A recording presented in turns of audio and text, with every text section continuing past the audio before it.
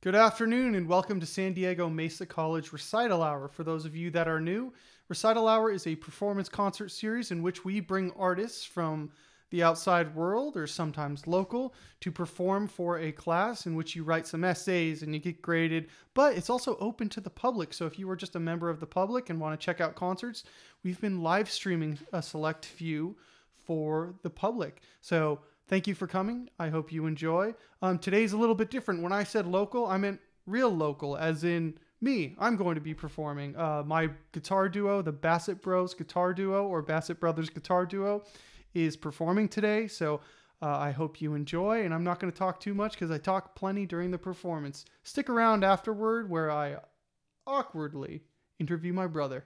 Hi, and welcome to our concert. We are the Bassett Brothers. My name is Sean, My name is Ian. and we're going to play some music for you today, so enjoy the show. Enjoy the show.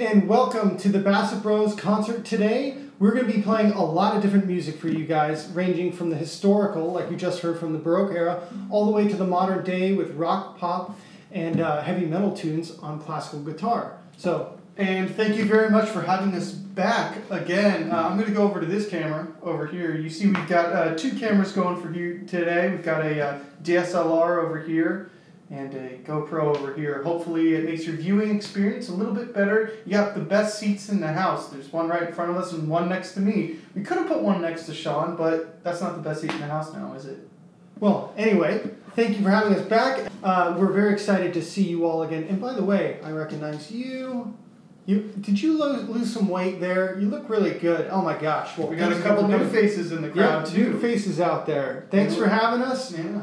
But rather than listening to us blab, we're going to play some more music for you. So, what we just played was the first movement of a concerto in D minor by Giuseppe Torelli, uh, and that was from the Baroque era of music. We're going to go further back in time to the Renaissance. This would be kind of in the 1600s era, era and um, the pieces we're going to play were originally written for two lutes by John Johnson, and they're a pavane and a galliard.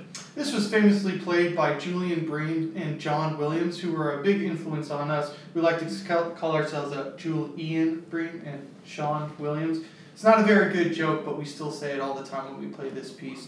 But um, enjoy these Renaissance pieces. The first is the flat pavane, and the second is the galliard to the flat pavane.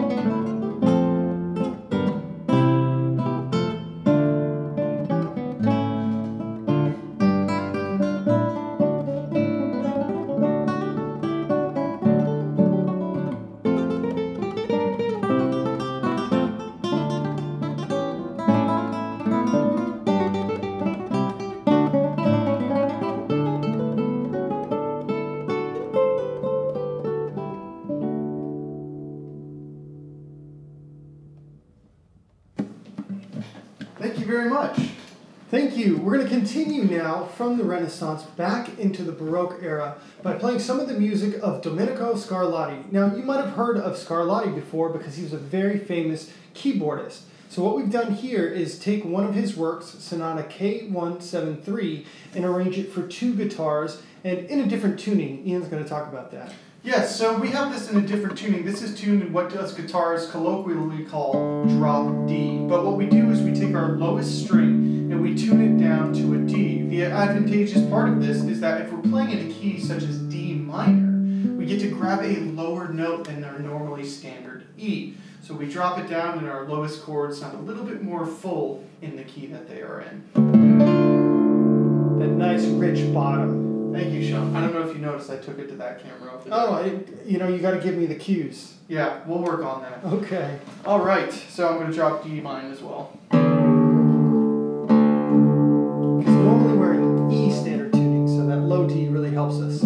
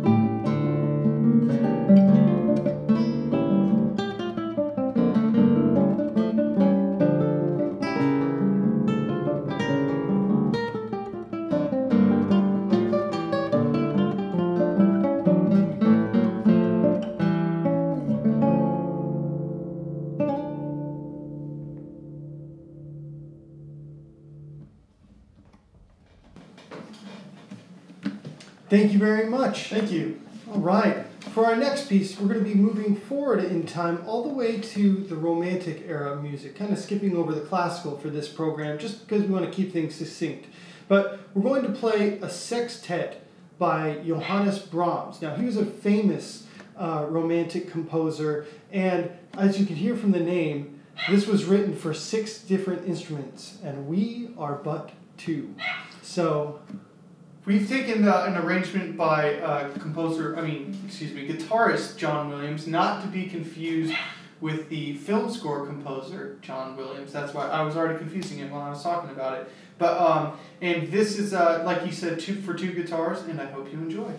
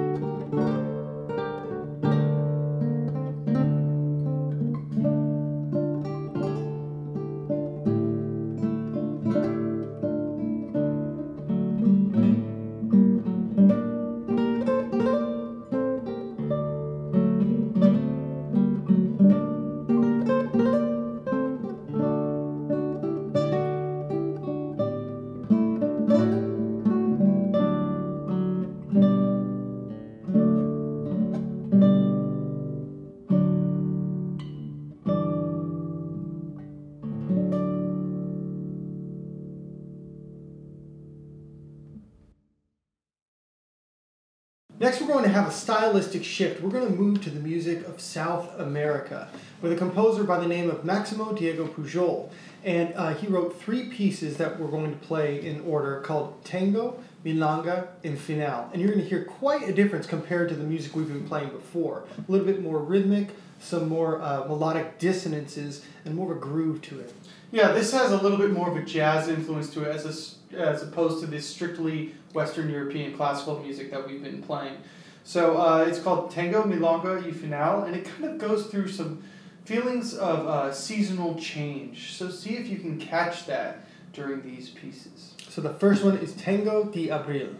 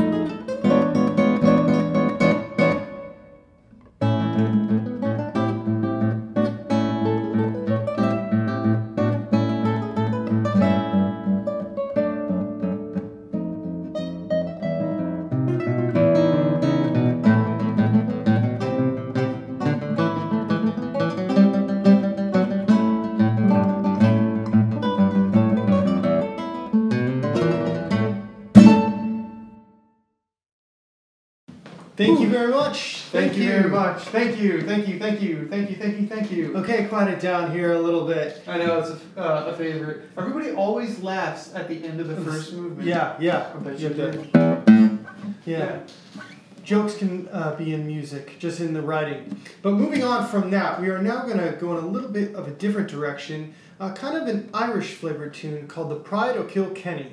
This was written by a local San Diego guitarist named Mike Nelson, who actually used to teach us guitar. We heard him play this live in concert, and we were like, "You have to teach it to us because we love it so much." And then we loved it even more so that we went to him for his permission and said, "Hey, I know this is a solo piece, but could we turn it into a duo?" So the part that I am going to be playing is the original, and what Sean is playing is part of our arrangement to make it into a duo piece. Exactly. All right. So this is, again, The Pride o' Kilkenny.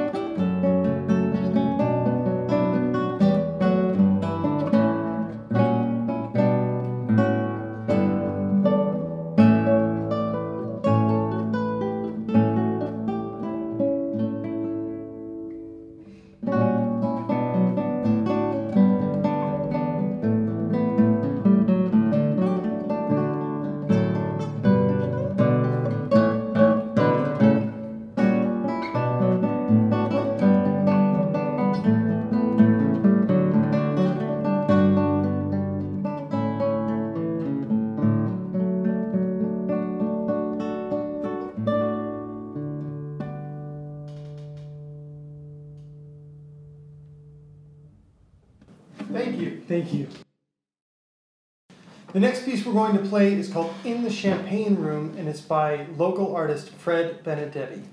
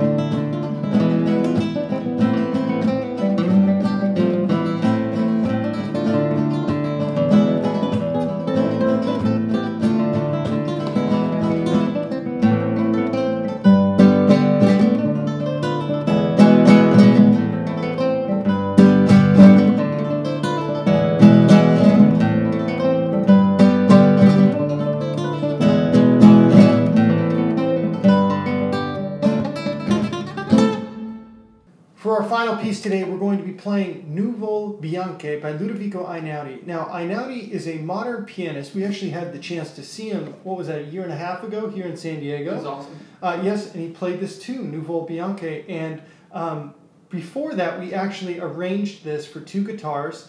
And the reason we did it for two guitars like this is because there's a lot of chords, especially in what would be Ian's part, that are yeah what we call power chords on the guitar. And when I heard this on the piano, I knew it would make a fine guitar arrangement. And actually, on our YouTube channel. Um, We should talk about the YouTube channel since, yes, even though we've been pretending, I'm going to take it to this camera over here. camera two We are uh, streaming this, right? Um, from from our YouTube channel. from our YouTube channel. So if you like pieces like this and you want to see them over and over again, this stream is special just for you.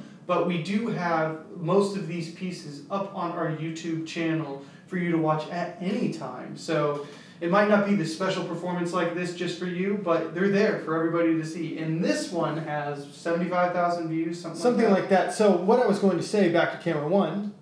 Is that um, we, we would love it if you watch some of our free music on YouTube, but make sure you click other videos besides this one because I think this one has the lion's share It views. gets enough love, but uh, it's, it's But for good reason. It's yeah, amazing. it's a great piece. We've loved playing for you today, and I hope you enjoy the piece as much as we enjoyed playing it for you.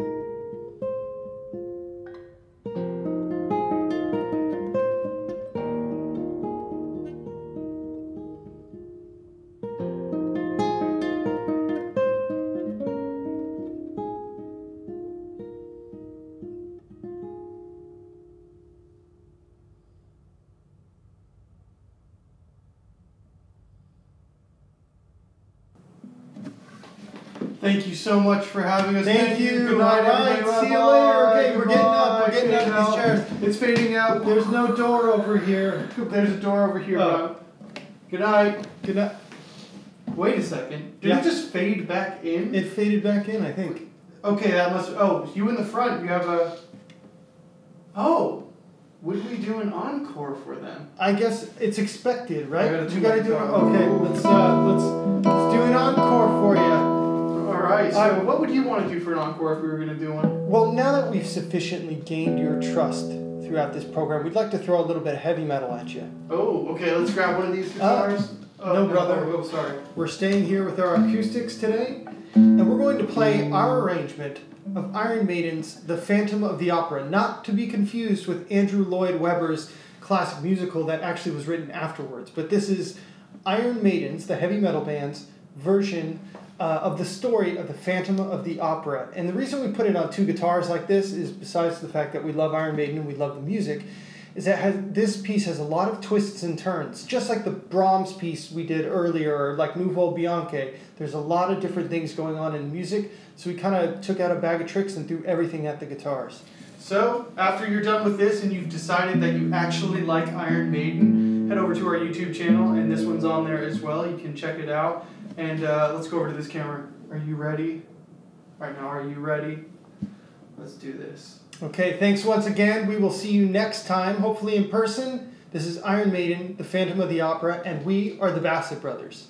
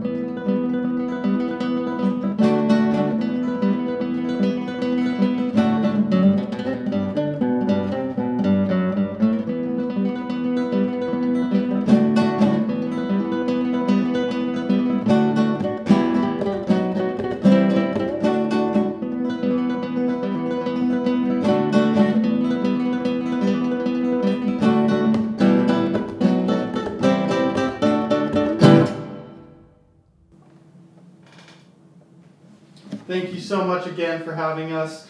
Uh, it's been a pleasure making this live stream for you. And hopefully, next time, like Sean said earlier, we get to do it in person, streaming from air.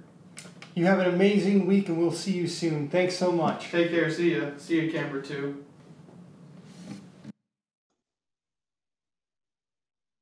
Well, we have a very special guest today, uh, someone you're not used to seeing, though you are used to seeing his face. Please welcome Sean Bassett from the Bassett Bros Guitar Duo. Hi, and thank you so much for having me on the show today. I've been a long-time fan. Uh, I think you got a good look, man, and I really just appreciate being here. It's so nice to meet you. Well, it's very cultivated, so thank you. You'll have to uh, kn- let my parents know. So I guess the Okay. first question we should answer is um, why didn't we record this when we did the live stream? When we were in the same room? Uh, uh, well, you know, uh, you and I had a lot of technical difficulties with that live stream. I hope it doesn't show in the concert, but you know, there's a lot of uh, stuff that goes into recording these things. So your answer went with the truth. I like it. Okay. All right. So I guess the way we're going to do this in the most uh, awkward interview of brother on brother ever um, is I will ask you questions and you can answer them. And then I'll just kind of add to everything that you say since I'm the interviewer. And we're kind of interviewing you and me at the same time. I don't know that this makes sense, but I'm willing to try to do what you're talking about. All right, so let's begin. Um, uh, where did you start with your musical journey? What age did you start playing music and go from there? Next question, please. That was my only question. Oh, okay. Well, I guess I'll answer. Uh, I, I had a twin brother. We grew up in the same room, uh, listening to bands like Metallica, and we heard Metallica a lot. And a neighbor of ours had an electric guitar, and so he let us borrow it, and we started playing around the age of 14, I think it was, electric Correct. guitar. Um, Ian, would you like to answer that one too? Yeah, so we bought it off our neighbor's older brother, and uh, we shared a guitar for the first couple years, right? Well, it was about a little over a year we shared a guitar, self-taught for the most part, um, and then started getting guitar lessons once we started taking it a little bit more seriously. And yeah, Yeah. electric, all electric. Was only interested in heavy metal, Yep. uh, specifically Metallica. We were Metallica clones, so if anyone ever wants to hear like a Metallica song played right, you know, just let us know because that was from age like 14 to 18. We like strictly played Metallica. Yeah, and then after that, we formed our old uh, our own band called Eradicate. It was a heavy metal band. Don't say uh, the name; they're gonna look that up. I don't know that there's much to look up, but uh, yes, it was Eradicate, and we played in that band all through high school and college. And during college, we were trying to get into the music program at San Diego State, um, and they said you need to play classical or jazz. We didn't play either, but we were always interested in classical um, for a lot of different reasons. But I'll keep it short. We started taking lessons, got into the classical guitar program, and then now we do both electric and classical guitars, as you can see by both of our collections here. But we should probably mention that we only get paid for the classical side of things. Not entirely true. We have electric students, you know that. Oh no, but I'm saying gig wise. Oh yeah, at the at the current time, I'll say yeah, we we are not doing any electric gigs. Well, nobody's doing any gigs right now, so I guess it's okay. We are recording during a pandemic, that's for sure. Yeah. So, um, what were some of your early inspirations as musicians? We kind of touched on Metallica. Name some of your favorite bands. Yeah, Metallica, Iron Maiden, uh, Megadeth was a big one for me. And then as you know, we got older and more bands came onto our radar, stuff like In Flames, Children of Bodom, then later like Bullet for My Valentine, Avenged Sevenfold. A big My Chemical Romance fan. All these guys in different ways influenced my especially electric guitar playing and songwriting and these kinds of things. Uh, when it comes to classical, my biggest influences were John Williams and Julian Bream, and still are my biggest influences to this day. I also, you know, I love the Assad brothers, um, David Russell. I mean, the list goes on and on. But it, it's weird in in one way, I feel like I'm in two different worlds with the electric playing and then the classical playing. But then at the same time, it's all music and it's all good. Right, and I will say I've always noticed you've always more gravitated towards artists with a strong rhythm and vocal presence in terms of the electric side of things. And I think I was always more interested in the lead. So where you maybe favored In Flames a little bit more, I might have favored a little Children of Bodom when you went through your phase of you know Skid Row and like learning how to sing high and the operatic stuff. I was knee deep in the shred players, Jason Becker, um, Paul Gilbert. And so we should probably mention that you. Oh, and the vocal harmonies of Bad Religion. Remember, I always wanted to do stuff like that. Oh yeah, always loved Bad Religion. Um, but it, we should probably mention that in our band, you were the singer and rhythm guitar player, and I was the lead guitar player. So uh, you know there was a slight difference at that time, but I feel like those differences have kind of um, smoothed over as we've gotten older. Well, and definitely in our classical guitar duo, there's not we don't we don't really have assigned roles of who do does what. It's basically uh, maybe you're going to ask this in a little bit, but when we're dividing up arrangements, deciding what to play, uh, it's very organic. There isn't a oh you play more of the lead stuff, you play more of the rhythm and all that. It's it's all because these guitar parts are always interweaving, which what would be a lead part, uh, even in a classical guitar duo setting, is very different. Well, it's usually the guy who suggests the piece usually chooses guitar one, and then the other guy goes, "You chose guitar one again," and then that's the way it goes. So, uh, sounds like you resent it, but you do the same thing. Come on. Yeah. Well, um, moving on. Moving on. All right. So, um, did you ever enter any guitar competitions or anything of that nature? What is this, Barbara Walters? Huh? Trying to get me, trying to zing me. Ian entered a guitar competition and won. Everybody, look at that flying V on his wall. I didn't enter. Years old, baby. I just had to squeeze it into the interview somehow.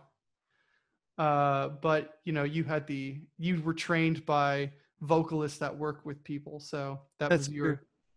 Yeah. Okay, so uh, in terms of transitioning, a lot of people ask us this question during concerts. How did you transition from heavy metal and electric to this nice, uh, you know, more socially respectable classical guitar music? How did you switch from that? Yeah, uh, and th- there's kind of two parts to that question. One was having to learn a new technique completely. Um, some of the left hand stuff from electric guitar transfers over. Um, but the right hand is a completely different animal. You know, when you're playing high gain, high distortion stuff on these electric guitars, uh, you're always trying to manage the sound. You're trying to cut the sound so you get these chunky rhythms. Or if you're playing a lead, you want a single string to be shining through and not having all this mud of other strings ringing out. Whereas on the classical guitar, uh, you know, you still are managing the sound, but you're trying to get more resonance a lot of the time. So learning a brand new technique, I did a lot of the right hand Giuliani exercises, Segovia scales, and pumping nylon. I'm, I'm going to have to stop you here. You were supposed to say we never gave up the heavy metal. We still love it. That was part two. Let me get to the, right. let me get to part two. So part one was learning a brand new technique. Part two, Mr. Interviewer, was that we, yes, we never stopped playing our electric guitars and, uh, as you can see, the addiction has continued. Uh, still love it. Yeah, so um, I'm sure you'd like to add to it as you were jumping in. Oh no, I was just gonna say we never gave it up, and that's a question we get all the time. Is I think from parents uh, or grandparents that see their kids getting really into music, but not the kind that they want them to like. So they want them to like classical music, and I always tell people, you just let them keep going, just let them keep doing what you're doing. If you kind of follow that puzzle mentality of um, like for me it was getting into lead playing. It was like okay well how does this happen? And there's this big puzzle you have to unravel. You get that more when you go into classical music or when you study jazz or something of that nature when you go higher up. So as long as you follow your passion in music it will take you to other places. And it might not be classical it might not be jazz but you know as long as you keep you know furthering that study and take it seriously um, you'll expand your musical horizon so i never like that question though it no, implies and, that there's like hierarchy in music. Yeah, no, because the the the thing of oh, when did you mature enough to get into classical or whatever? And it's like you know, music is music. All forms are valid, and it's just what pulls on the old heartstrings. Obviously, the classical takes a different kind of training. um, but that's okay.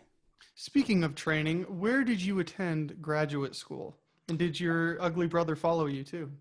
Uh, yes, my ugly brother followed me to the San Francisco Conservatory of Music. Uh, that's where we got our master's degrees.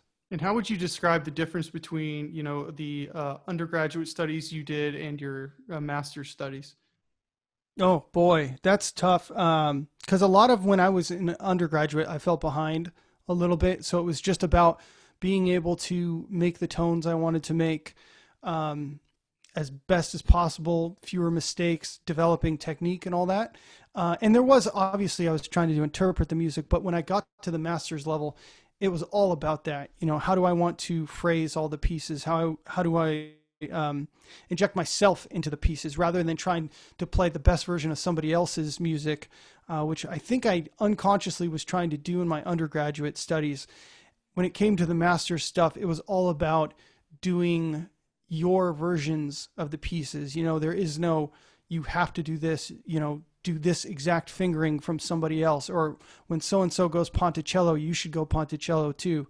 Um, it was more about developing your own interpretation and having those reasons, and that's how I try to work with students today.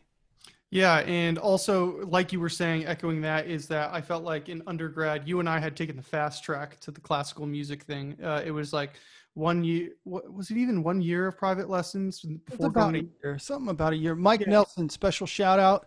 Yeah. Uh, yeah we, but, we him at the community music school at sdsu for a year. Yeah and so we we did that and then it was like straight into the music program and so um, it was like kind of getting that all that stuff real fast just trying to keep up and then by the time we were at the masters stuff started to settle in even from the music theory and all that. I always felt like i was behind in music theory in uh, undergrad and then when i was taking classes at uh, the conservatory, it was all of a sudden I was like, oh, I really get this, and I can see the importance of it. And like you mentioned, things such as phrasing, uh, note identification, chords, doing uh, long formal analysis on like Beethoven pieces and stuff like that was something that became real. And um, so it was kind of like for me, I felt like at the masters, everything started to settle in, and we started to create more of the classical music identity, in which we uh, played mostly duo music in our second year, didn't we? That's right. We uh, pretty much all of our final recital was duo repertoire. It was really cool. Um, many of you might not know, but Sergio Assad of the Assad Duo taught at the San Francisco Conservatory of Music, and he suggested, because he's in the famous Assad Duo with his brother, that uh, Ian and I stick to duo uh, repertoire for our second year. And all the teachers jumped on board, of course, when he suggested that. Uh, and it was awesome for us because we've always known that we want to play duo music together. Even though we enjoy solo guitar playing, it's our shows are mostly us playing duets. Yeah. So when Sergio says everybody else listens, so I was very thankful for that. That Sergio had that strong opinion about our playing. He was like, "I like that. They play better when they're together. We should just do it all like that." And I was like, "Yeah, thanks, dude." Yeah, it was great. All right. So, um, do you think students would benefit from creating their own media? I noticed you have a YouTube channel. Yes. Uh, short answer absolutely yes. And I hate to say it, but it's kind of required in, in this day and age. You know, you should have your own audio available, your video available. Absolutely. Um, people underestimate the value of having nice looking videos on YouTube that you could send while pitching gigs. Uh, That's how we get our gigs that's most of uh, uh, of the stuff we have to pitch we get because the quality of our videos. So um, I would definitely have videos. Have your own website because people, as much as people think it's just about Facebook and Instagram, which you also have to have, uh, people still go to your website. So all these things, all the media you got to have. And if you do create arrangements, use a notation program, whether it's Finale, Sibelius, or some of the open source software. Um, there's so many free options now, even for recording. I know Ian, for your guitar ensemble, you're using BandLab, as am I. Yeah, yeah. So that's my thing too. Is uh, there's there's a lot of different facets to being a professional musician. Playing is just one of them, but there's a lot of players out there. If you want to be a professional, you're going to have to do more than just play. You're going to have to be able to present uh, good-looking media. You're going to have to be able to play in front of an audience, which is a different thing. You're going to have to be able to talk to people, right, face to face, sell yourself, um, or just interact with people in a non-weird manner, and whatever is weird, I don't know. But and show um, up on time. Very important for musicians. It's not just, just about keeping the metronome time. It's about showing up on time. Showing up on showing up early. You know, per, uh, wearing the right clothes. There's all these different things, uh, and that's the job. Because we all know that we love music, but the job is all those other things. That was that's what makes you professional. I feel like I just went on a hard diatribe there. Okay, well, if there's anybody listening left, we should probably get to the next question. Okay, so um, what's the single best piece of advice you can give a student who's an up and coming musician right now? Ooh, single piece. Gosh, that really.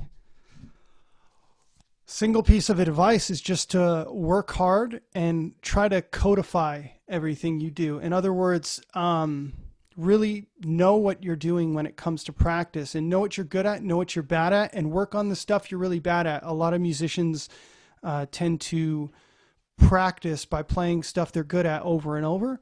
Uh, and that's really a time where you should be working on the stuff you're not so good at. So um, by by being organized and codifying how you're practicing, I think for any up and coming musician, we could all get better at that.